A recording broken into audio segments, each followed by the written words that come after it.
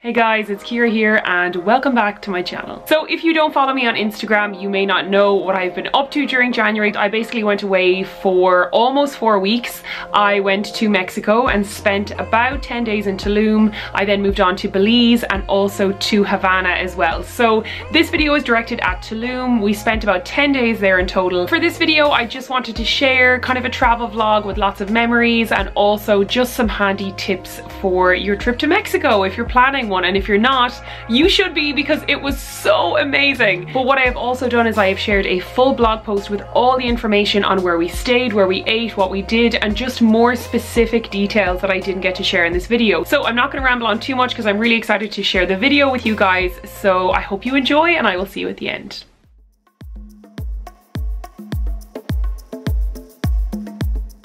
first thing I recommend doing when visiting Tulum is to rent bikes. They're so inexpensive and it's such a fun way to see Tulum. Pretty much everything is within cycling distances, all the ruins, all the beaches and all the fun bars. It's such a perfect way to see this area.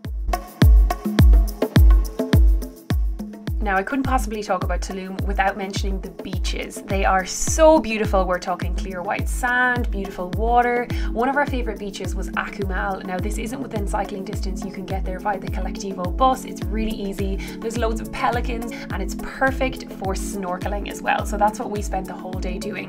The underwater life here is beautiful and you can also see turtles, which is what Akumal is famous for. Loads of turtles feed here and they have this protected area for them. So you can spend the whole day swimming in the sea and just looking at the beautiful turtles doing their thing. It was so lovely. Now you are asked to wash off your sun cream before going into the water just as a way to protect the turtles from the chemicals in it. So if you are somebody who burns easily, then packing a t-shirt or a rash vest should be perfect for this. But look, it's totally worth it to keep these guys happy. They're so cute.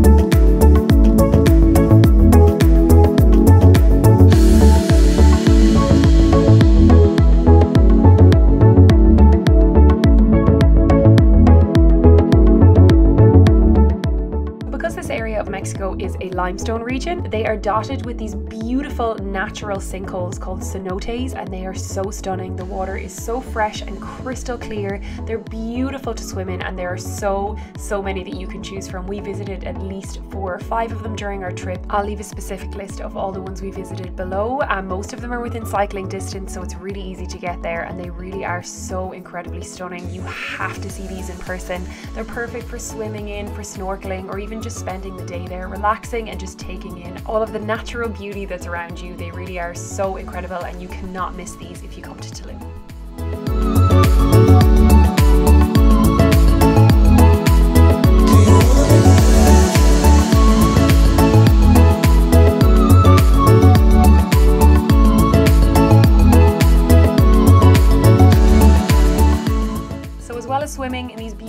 Cenotes. If you're feeling brave enough, you can also go scuba diving in them as well. And as a huge diving fan, I was definitely not going to miss out on this opportunity. So we decided to go with Koox Diving. They're a fantastic dive shop right in the center of Tulum. I did a lot of research about safety in kind of diving the cenotes and Koox were my number one choice. So all we had to do was choose which cenotes we wanted to dive and they basically arranged everything else for us. So it was so easy. Our dive leader was named Sabas. He was from Chile and he was the most perfect, safe guide that we could have asked for. We were pretty nervous before we did our first dive, I'm not gonna lie, but we had the most amazing experience and we did lots of diving in the cenotes while we were in Tulum. Take a look.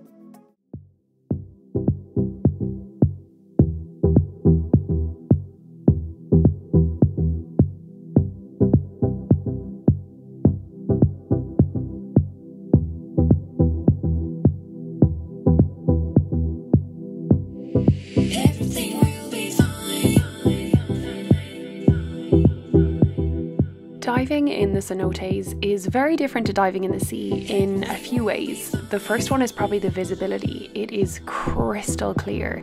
It's so beautiful, you actually feel like you're flying. And even though you might not have as many types of fish that you would find in the ocean, the cenotes are still so incredibly beautiful in their own way. There's something really otherworldly and very magical about them. Even if at times it's a little scary, like when you're in the caverns, it's always really beautiful. And because we worked with an amazing dive shop like Koox, we were always super safe. So it was amazing.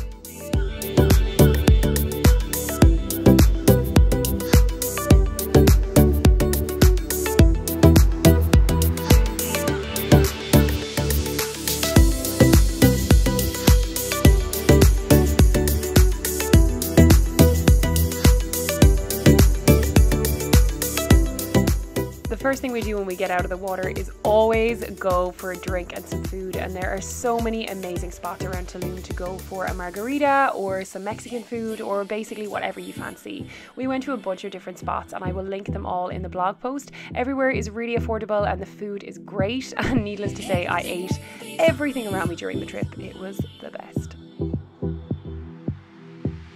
As well as restaurants, don't be afraid to try any of the traditional Mexican street food. Sebas brought us this amazing, like vine wrapped kind of egg thing. I think it was called palmasis. It was amazing. I absolutely loved it. We also went to the popular Raw Love, which is really healthy and kind of vegan as well. If you want to go somewhere a little bit different for something healthy, it was great.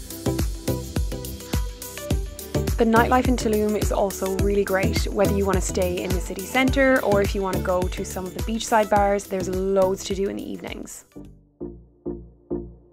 Another really interesting thing about Mexico's Yucatan region is all of the amazing Mayan history. In Tulum, you have, of course, the Tulum ruins. You can cycle there. It is so beautiful and so, so interesting. Whether you're a history nerd or not, you will really enjoy seeing them.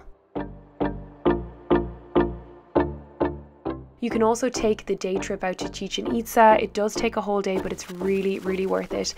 But my personal favorite had to be the Coba ruins. This was actually part of another day trip that we did with Koox Diving. They also do adventure and ground tours, so they organized everything for us. It was so, so easy. It's about 45 minutes outside of Tulum and it is even older than Chichen Itza. It's really, really beautiful. You can walk around the ruins of the ancient city and you can even still walk up the steps of their massive temple. This is something you cannot do with Chichen Itza anymore, but I really urge you to go to Coba. It's a lot of work to get up those steps, but it is so worth it for the view at the top.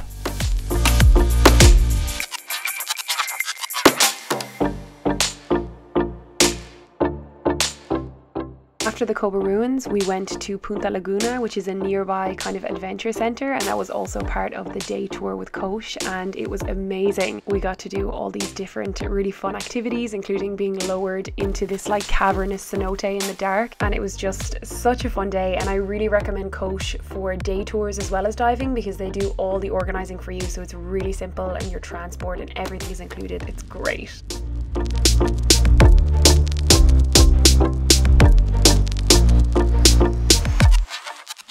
So there you have it guys, that was my kind of travel vlog and guide for Tulum in Mexico. I really, really hope you enjoyed it. If you have already been to Tulum and you have some other recommendations, please do leave them in the comments below. I'd love to know what you got up to, what you liked, what you didn't like.